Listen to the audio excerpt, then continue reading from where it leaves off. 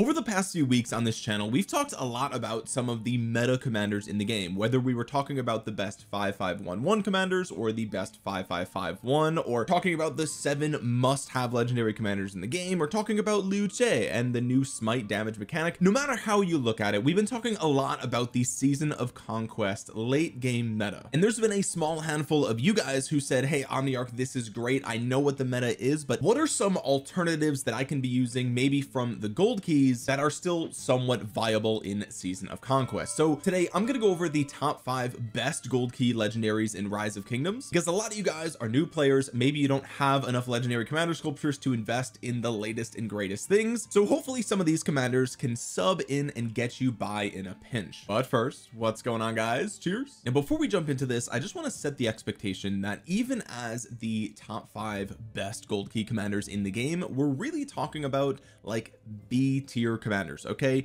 Maybe you could make the argument that the top one or three spots could be an A tier in the perfect best case scenarios but for a majority of you out there who maybe don't have these commanders expertise which is probably a majority of you we're talking about B tier and lower okay? So that's not to say that these commanders are garbage or useless or anything like that. They're actually decent but I just want to set the expectation that we're not talking about the latest and greatest S and S plus tier like super meta best in the game okay? So don't go out dumping hundreds and hundreds of legendary commander sculptures into these commanders because the legendary commander sculptures are better better spent elsewhere. Now with that being said let's jump into number five on the list here and I just want to be clear that the rankings here are they're very loose okay? You could make the argument that four and five could be switched you could make the argument that two and three could be switched. It really just depends on the scenario but number five on the list in my opinion is Mulan. Now here's the thing with Mulan. As a general commander I think that she is not the greatest but she has a few niche roles where she is one of your best possible options and you still see Mulan shining in Sunset Canyon and Lost Canyon. And you also see her used a lot in Ark of Osiris as well. And I also see her behind Trajan in the open field in kvk especially when you have a rally leader out on the field hitting a particular target. You can use that Trajan Mulan nearby to theoretically buff your rally. So there's a lot of really niche instances where Mulan is actually incredible. Now we can go through her skills really briefly but what you'll see at the top of the screen is sort of a quick summary of what exactly it is that Mulan is doing. Now her active skill is one of the best support active skills in the entire game but there's a big flaw with this active skill and that is that the duration is only two seconds unless she is expertise in which case it actually makes it a much more effective active skill and also increases its duration by a second which going from two to three seconds doesn't sound like it's anything crazy right? But you have to consider that that is a 33 percent longer duration than it was pre expertise right? So when this commander is expertise it's going to give you 60 percent of stats for three seconds and 30 percent march speed okay? The stats are split across attack defense and health and it's a circular AoE buff which is really nice. Her second skill reduces surrounded damage that you take by five percent. Not that crazy.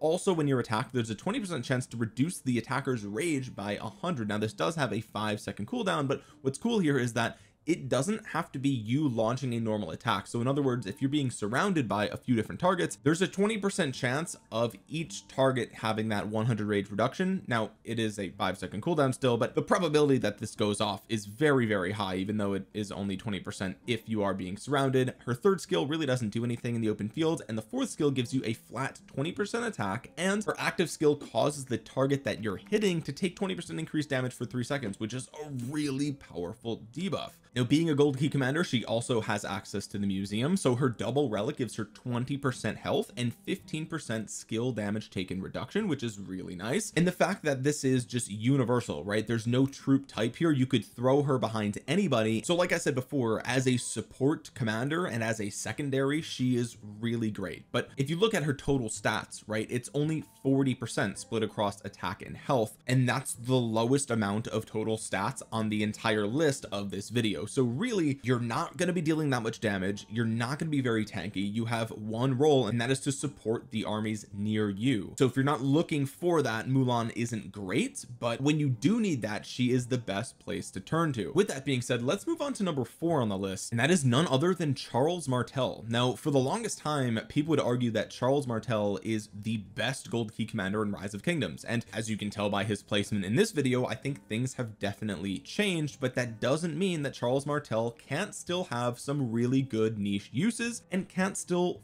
fill that role of good secondary or maybe even primary in season of conquest in a pinch okay? Again remember what I said at the beginning of this video. This is not an S tier commander okay? I think the days of him being meta are long gone but I do think that he is still aged pretty nicely. His active skill gives him 30 percent increased damage for four seconds. That is a really powerful all damage buff for a significant amount of time and he also gets a 1200 damage factor shield which means if you're dueling somebody one-on-one -on -one, this is going to be very beneficial to you. The second skill if he's expertise is great. It gives you 20 percent defense and 20 percent health. Those are the two best things that you want for infantry and 20 percent march speed which makes him one of the faster legendary infantry commanders in the entire game. But a lot of you guys are not going to have him expertise which is definitely a downside which means he loses the march speed entirely which I think really stinks. I think one of the cool things that they could do if they wanted to balance Martel a little bit better is give him like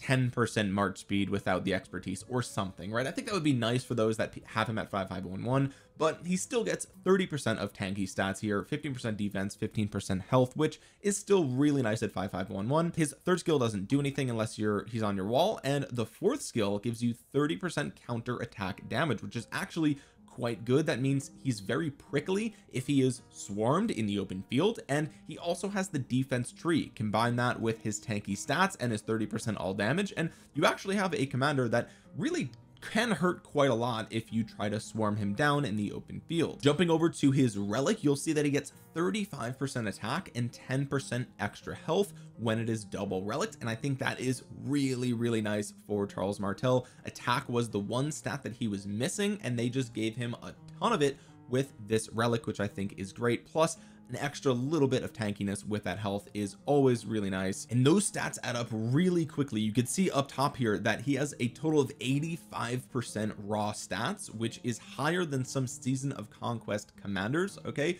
the problem with Charles Martel is that that's kind of all that he's doing. He's kind of a raw stat stick and that's about it. Now that's not to say that stats aren't really meaningful. Obviously they are but as we've seen the equipment system come into the game and then talents and then iconic crystals and then the implementation of the armament system there's been more and more ways as the game has evolved to gain more stats right? We have crystal technology to gain more stats right? So there's plenty of ways to gain more stats in the game but there isn't any uh, like raw damage here on Charles Martel. He's not doing anything insane. He's not applying a crazy debuff. He's not buffing your allies right? There's really not that much that he's doing and so his prominence has fallen in my opinion from being the best gold key commander in the early stages of rise of kingdoms down to number four on the list. Not to say that he's bad now but I think he's very vanilla so you can throw him in places in a pinch and honestly there are quite a few commanders in the game now that give you some buff if a shield is active and also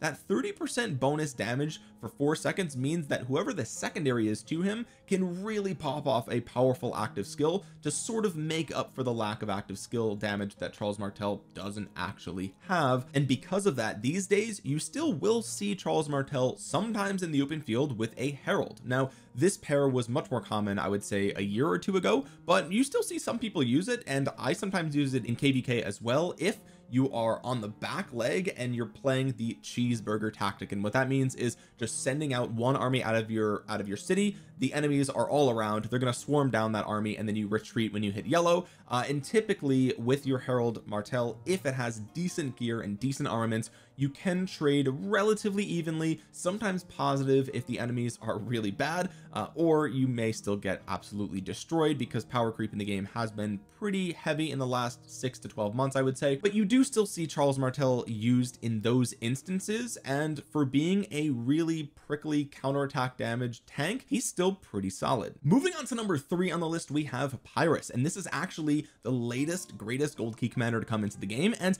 I think that number three on this list Pyrrhus himself and number two which we're going to get to very soon can be interchanged. It depends on what you're looking for. So really I think Pyrrhus you could definitely make the argument that he falls into the number two slot. And when we go over number two I'll explain why I chose Pyrrhus as number three even though you could make the argument otherwise. But unlike Charles Martel Pyrrhus actually does a lot of really interesting things for infantry okay? You could see that he deals a 1400 single target damage factor and he gives you 20 percent more normal attack damage for three seconds. So he actually trades out that shield that Martel has for a nice instant damage to one target. And instead of 30 percent all damage it's 20 percent normal attack damage. But with the introduction of smite damage in the game this actually could age much better than Charles Martel and really skyrocket him on this list in let's say a year from now. So he's definitely a commander that you want to keep your eyes on. This second skill gives you 10 percent health and 15% march speed.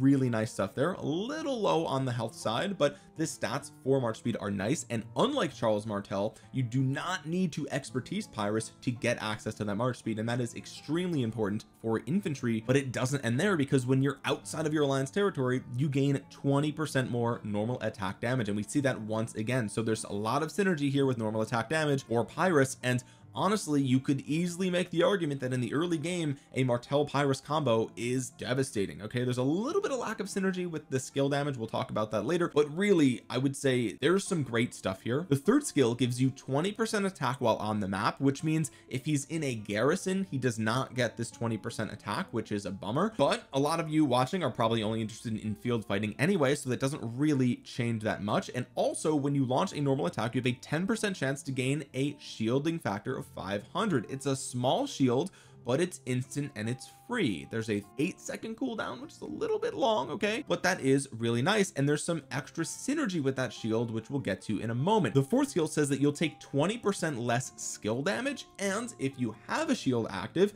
you'll deal 10 percent more damage okay? So sometimes you'll just get the shield and deal 10 percent more damage and if you pair him with Martel well great news Martel always gets a shield on his active skill and then he'll always be dealing 10 percent more damage while that shield is active. And remember Martel's shield lasts for four seconds assuming that it's not broken. So in a best case scenario you'll get four seconds of 10 percent all damage. The expertise here says that whenever you are hit with a normal attack you have a 10 percent chance to reduce the attacking troops attack by 30 percent for three seconds. So right there that's a really powerful attack debuff. Also it's when you're hit with a normal attack. So if you're being swarmed down if you are being swarmed you can debuff one of the targets that is swarming you. It is an eight second cooldown which is quite long. That's probably why he's a gold key commander okay? We see a lot of uh, these eight second cooldowns on the gold key commanders. It's it's kind of a bummer okay? But it doesn't end there because he also gains 30 percent infantry defense and 10 percent bonus skill damage with his double relic. So like I said before the early pairings with Martel are super powerful but they're not perfect right?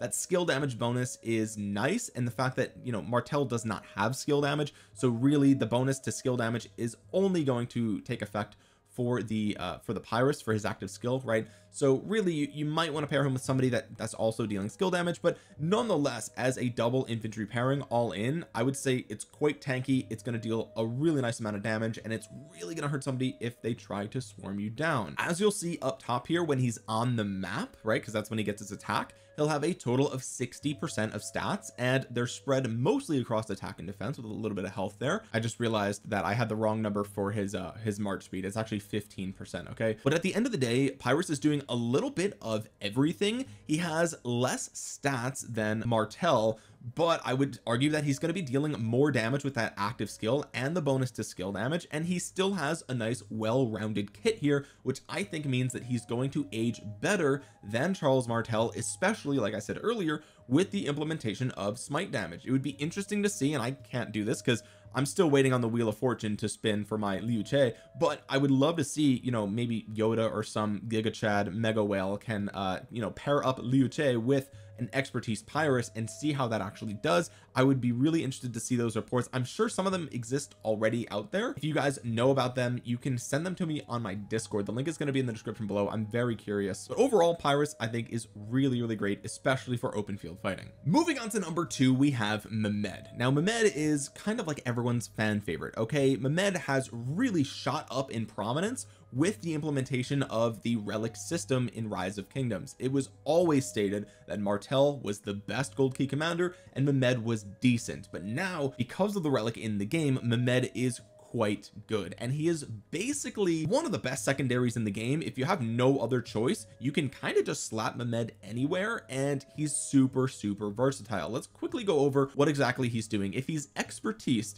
he's going to deal a 1350 damage factor. It's aoe to five targets. The downside of this is his aoe cone is quite narrow so the probability of hitting five targets is pretty low unless you're in a kvk where there is a troop collision okay if you are in one of those kvks then you're probably gonna hit five targets almost every time if you're like colliding with a bunch of people. But otherwise a lot of the times you're really only going to hit like maybe three targets okay four if you're lucky. The other downside is if he's not expertise it falls to 1150 so still decent. Uh, it's only a 200 factor bump when he's expertise. So that means at 5511 it's still a nice little aoe there. He also gains 20 percent attack 20 percent skill damage and third skill only does things in rallies. Fourth skill gives you 10 percent troop capacity and some rallied army capacity as well. And then if we hop over to his museum relic you'll see that he gets 30% troop health and another 10% extra skill damage which is really really good stuff here. And that's pretty much it. Mehmed is actually a very simple commander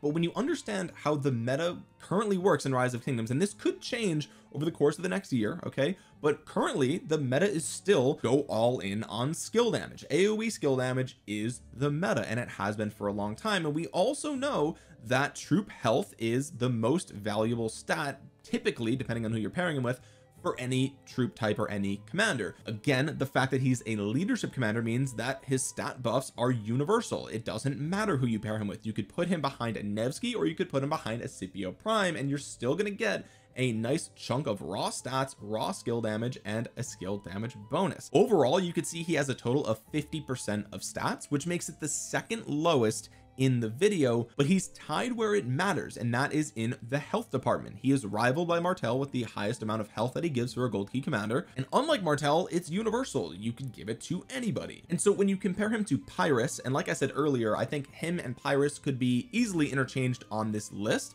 The reason that I chose Mehmed to be higher on the list is first of all if you've been playing the game for a long time you're probably gonna have a lot more progress made on your Mehmed. So you know obviously Pyrrhus just came out. The probability that you have a 5511 Pyrrhus right now from gold keys alone is pretty low but the probability that you have a 5511 Mehmed from playing the game for two years or so is pretty high. It could be even better than that. And also Mehmed is just so versatile right? You can literally put him anywhere and I think that that is a value in itself. The fact that he's super flexible makes him more valuable in my mind because that means that the probability that he can be power crept out of the game is a little bit lower. So because he's so easy to use and because so many of you probably have more progress on your med anyway I think he deserves the second place spot on this list. And also the final note here is that the increased troop capacity is deceptively good here. Uh, I think a lot of players don't know this but your damage output is directly proportionate to how many troops you bring to the battlefield okay? So if you bring a 25 percent troop expansion and the other person brings a 25 troop expansion but you have a med there and you have the extra 10 percent on top of all that you're gonna have an edge. It is a noticeable difference. The damage formula which I've shown on this channel you can watch the videos. I, I made a whole video talking about the RoK battle formula. It's got Richard on the thumbnail the battle report okay? Check that video out. I go in depth for the entire damage formula for rise of kingdoms or at least what we know about it but we know for sure that troop capacity is a big component of how much damage you're dealing whether that's skill damage whether that is normal attack damage like this matters a lot. So even though Mehmed isn't doing as many things as Pyrrhus I think he lands at the number two spot. But with that being said who actually beats Mehmed to be at the top of the list the best gold key commander in rise of kingdoms? And in my opinion I think it's Thutmose. I think a lot of you guys probably saw this coming. I think Thutmose is almost criminally underrated right now in rise of kingdoms. And again we're talking about gold key commander. So at best best case scenario I would say he's maybe a B or A tier legendary if he's expertise with the relic and the right pairs. But I think what Thutmose is doing is quite good okay? If you look at his skills the weakest part about him I think is his three target AoE and that's saying a lot because just having AoE in the game is kind of a big deal. It's only a thousand damage factor but when you compare it to all the other gold key commanders that's great okay? It's only outclassed by Mehmed and that's pretty much it. He also reduces the healing of the targets he hits which isn't that big of a deal but there is a lot more healing in the game than you might think. For example Boudica Prime heals pretty often on her fourth skill and that's one of the reasons why she's so good at dueling in rise of kingdoms. So there's lots of little areas where healing can be applicable. I think there's also some healing in the defense tree as well well. But beyond that he gets 15% attack 10% march speed and 15% damage outside of alliance territory. That's a lot of benefit for a single skill. And one thing you'll notice here is that the attack is a little low the march speed is a little low the damage bonus is nice. But then we move to the third skill and this gives him 10% defense on the map. So again just like Pyrrhus this won't work in a garrison but it will work for open field fighting. And each troop attack has a 10% chance of debuffing the target increasing the skill damage that they take by 15% for three seconds eight second cooldown. Again the gold key commanders with these really long cooldowns on their very uh, decent but more so average skills. I would say regardless of that yes the defense number is a little low here but 15% skill damage taken increase is a really powerful debuff. That means that anybody hitting that target is going to deal 15% more skill damage to them which is really good. You could be swarming them down for example and this is again something you get as an instant proc. It doesn't come at the cost of being part of your active skill or something like that the fourth skill says that you take 10% less counterattack damage okay? And when you're attacked there's a 10% chance to deal skill damage to the target with a skill damage factor of 700 again an eight second cooldown kind of rough there but 700 instant proc damage is really good. You have to think about what we're comparing him to. We're comparing him to gold key commanders okay? El Cid's active skill for a thousand rage even with the with the relic is 1150 to a single target. Yes it has a disable here but this is giving you 700 damage factor for free randomly instant proc. You don't have to do anything. It doesn't cost your rage. You still have your active skill. And then finally the expertise gives you 5% less damage taken from infantry. And